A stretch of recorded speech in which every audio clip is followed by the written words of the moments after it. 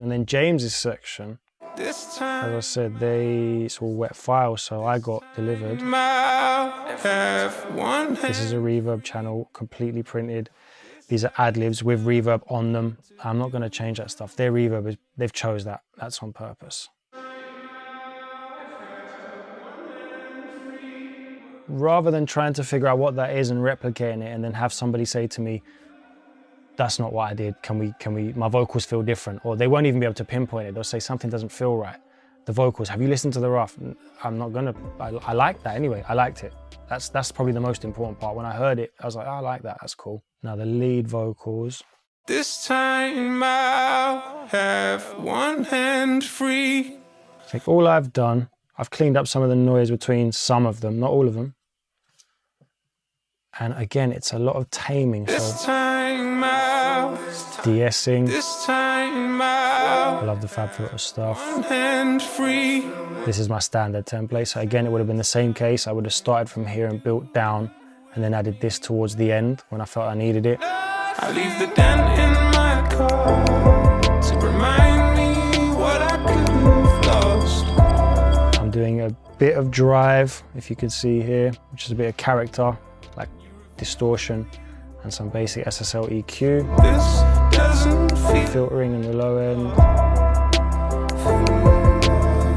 Um, what else am I doing here? This is pulling out a resonance, let me just see that. I'll have one hand free. This has not. This time I'll.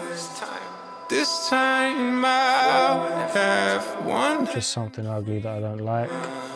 This has nothing to do with me. Soothe doing the same, softening the, the aggression and stuff.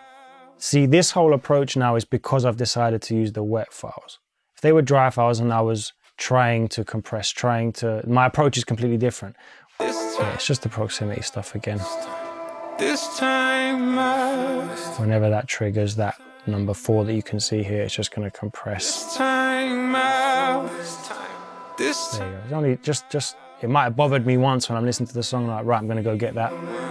You can do it through uh, AudioSuite if you want. And the same thing, the only compression I've got going on is parallels tucked in, so I'm keeping all the dynamics of their song, but all I'm doing is tucking in. Just a bit of a, a nicer version with all my, my work. And a bit of de-essing at the end. One hand free. Let's go to the, the last vocal.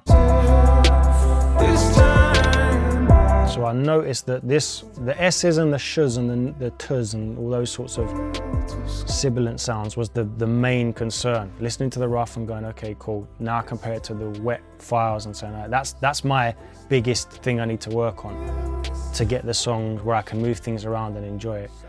You'll see the same thing going on here. You'll see, it's, it's, it's, I've just copied the chain over and just adjusted accordingly. But what I then do is I've taken all his leads, which are the yellows, you can see, and I've sent them to a lead group, which also has. This will be doing the ch, sh. What is that set to?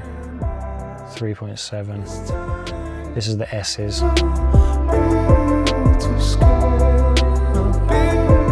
I'm even filtering the leads, I'm filtering everything above. Is that 10K? Yeah, 10K relatively gentle slope. What is that? Suddenly the half a man used to be. And I'm pulling a load of mids down. That's interesting even for me to look at. Those two, as well as, so the, the BVs are all going to the same thing, a D, uh, another group, sorry, with the same de-esser on it, the Vice, Weiss, Poison. Then the lot of them get put together to this group here. So these two. Now on this group, I've got a Trackspacer. Let's see what's being fed to it. Now this is being fed from Slowthai. So let's try find, I know where it is, it's here. Watch. So the sidechain input of this, this is like 32 bands of EQ, think, uh, individually being turned down. It's like a multi-band compressor, but loads of bands. And you pick what, so this dark area here is what you can see. That's the area that's being compressed. This is by how much compression. I've set the sidechain to be Slowthai's voice. So at the point where they sing together, Slowthai comes in, James's vocal will duck down in the area which allows Slowthai to cut through the most. So I'm going to exaggerate it for you.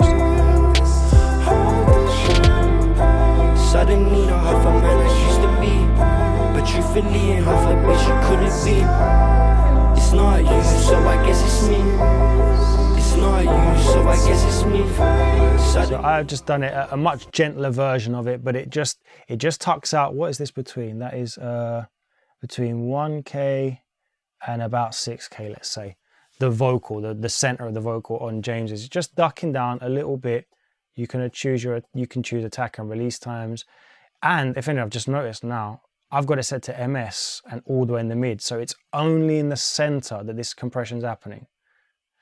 Because I've got this on the entire group, I didn't want the reverbs, remember all these things that are printed, I don't want the reverbs to be ducking at the same time. I just want the center of James's voice to be ducking out of the way when Slowthai comes in.